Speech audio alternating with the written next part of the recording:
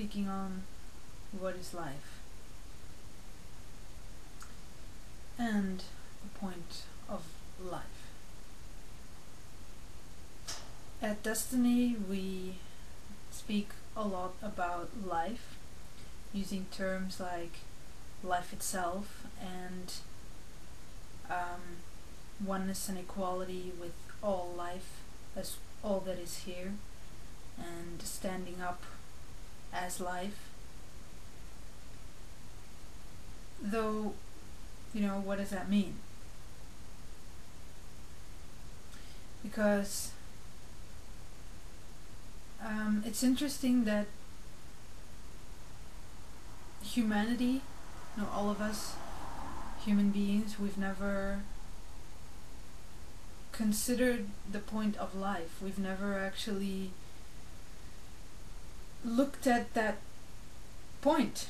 Just looked at life and what is life and we've kind of created it, you know, we've made it into another job that need to needed to be fulfilled by philosophers who would then go and search for answers to the question for us what is life to as kind of uh, just another entertainment i guess.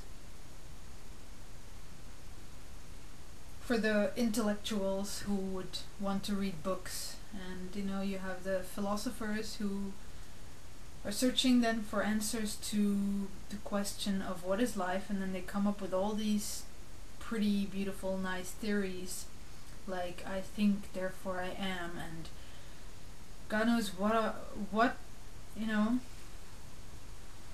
And then people read those books like what they serve you at university a lot of university university college um, studies require for you to read about philosophy to read about what all those big names have written you know. We all know the names like Plato and Aristotle and um, Descartes and um, you know all the names. Um, and then you have to read them and you have to remember it and you have to take exams and everything. So what happens then is that it becomes knowledge for someone else that read the books and then we go and quote them we go and quote what this Descartes said about life. I think therefore I am. Yes. So that's apparently now our answer to what life is because you know that's not at all based on introspection or any type of real investigation, but that's simply because we read a book and now we want to use it to our advantage so we can personally feel good about ourselves. Just like what we do with everything. So, do we really care about life? No. Do we care about what life is? No. We just want to feel good. You know, we just want to keep on experiencing these emotions and feelings and we just want to keep on doing what we do whatever it is that we do the point is that we don't really want to consider anything besides our own personal life so we will only um, accept answers that fit into our personal life and what we like to hear and what makes us feel good. Um, and we will never consider that maybe life, as what it really is, has nothing to do with what we want it to be, or has nothing to do with something that makes us feel good. Maybe life is something that does not support our apparent superiority of ourselves as the human being at all. Maybe life is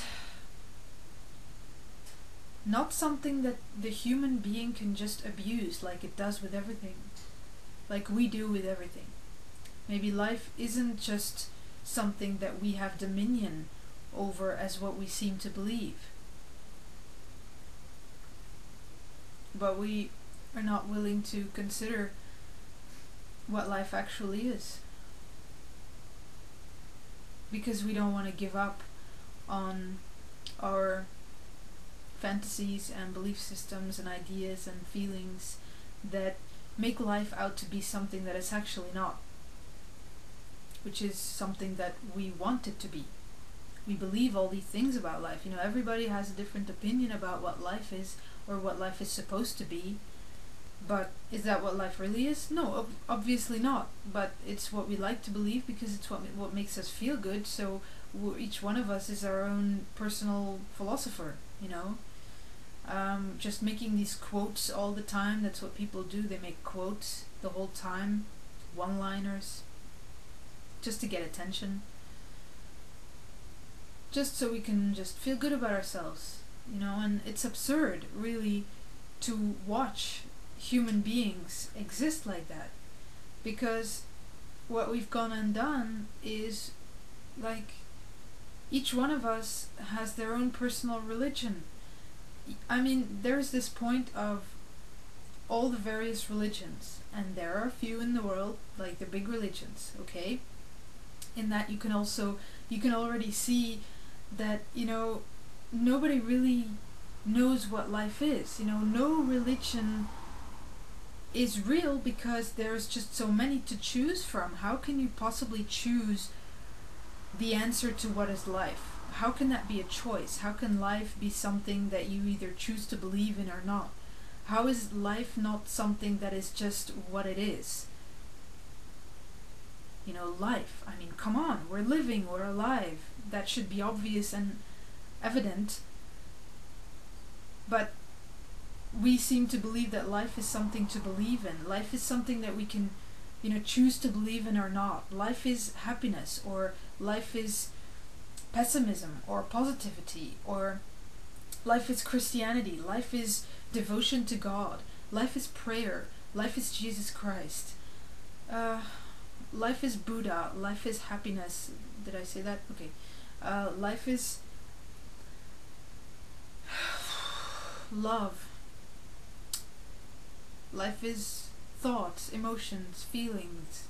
Life is relationships, sex, whatever we all have our personal belief about what life is, but you know, as because we apparently believe that life that life is nothing. Like we doesn't we don't exist. That's the whole point. This is what our religions show us. Um, is that we don't exist because if we would exist if we would actually be life, then you know we wouldn't have to believe in anything because we'd actually see it. We'd actually see the answer right in front of us because it is who we are, because we are life, because we exist. It's simple. If we are life, then we don't have to look for the answer to the question of what is life. We don't have to answer that question. That question wouldn't even exist because you know we are life. I mean, obvious as the living statement of who I am. I'm life. Simple. But we don't exist. Therefore, we have all these religions that claim they have the answer to life, that claim that they have the ultimate answer to who we are, why we're here, who made us, or you know what what is good and what is bad and what is right and what is wrong what are the rules and who made the rules and how we were created and why we were created and what is our purpose, blah, blah, blah. You know, we have all these various, even inside religions, you have divisions, you have separation of those people who are the extremists or the ortho- orthodox, and then those people who go that way, and those people who believe in that prophet or apostle. You know, you you just everybody believes something else because it makes them personally feel good about themselves to believe in that specific thing about what life apparently is, wherein obviously they themselves have this glorious, beautiful purpose of why they are here on this world that they can believe in. But the very fact that we believe in something that we believe in life means that we are not life. We we don't exist in the first place because life can only be one thing. Obviously, life is what it is and the fact that we don't even see what life actually is means that we don't exist. That we're not real. So I'll expand in another interview on what life actually is. Okay, thanks.